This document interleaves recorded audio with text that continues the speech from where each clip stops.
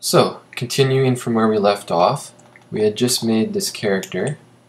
In this part, we are going to give him some color, add some materials, add a light, and background color.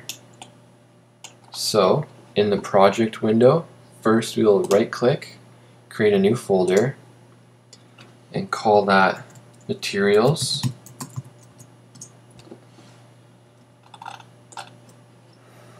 Right click the materials folder, create material, call this player skin, and in the inspector window, while player, player skin is selected, we can choose what kind of shader it is. I'll just leave mine as diffuse and its main color. I'll click that and it brings up brings up a color wheel where you can choose choose what color that you want it to be. So my guy's gonna have blue skin, I guess.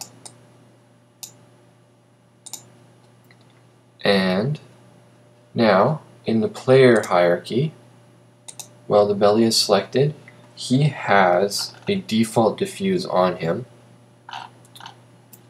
But we can drag the player's skin onto the inspector while he's selected and replace that.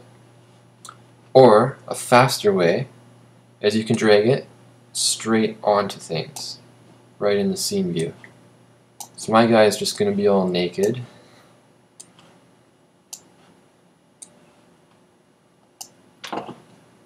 And I'll right click materials, create another material, call this player eye. I'm just going to leave it white and drag it onto the whites of his eyes. I'm going to create another material, player pupil, make that black, drag that onto his pupils, and there we go, he's got some colors. Let's make another material, call it ground. I'm going to make mine like grass. Drag that onto the ground. The main camera has the option to choose what the background is rendered as. So you can click on that. Just so while the main camera is selected, right here, and that changes the background in the game view. You can see. He's very dark, so we'll right click in the hierarchy and add a light. So light, directional light, and there we go, he's lit. You can, just like any other object, you can rotate the light around, change the lighting.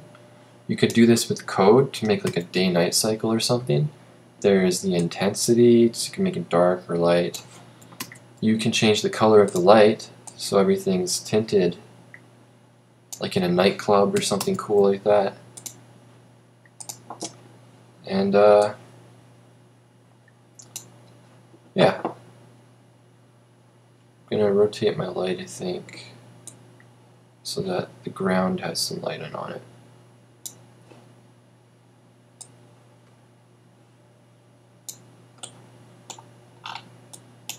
You can also tell the light that you would like to have shadows. Now he's got a shadow behind him.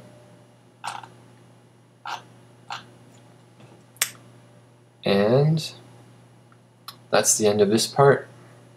Oh yeah, so go File, Save Scene. Don't forget to save your scene.